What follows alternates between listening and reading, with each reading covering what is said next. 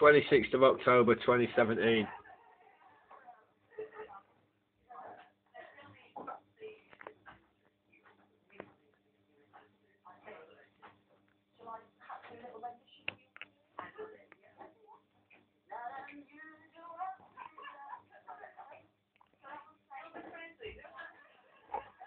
Look out back.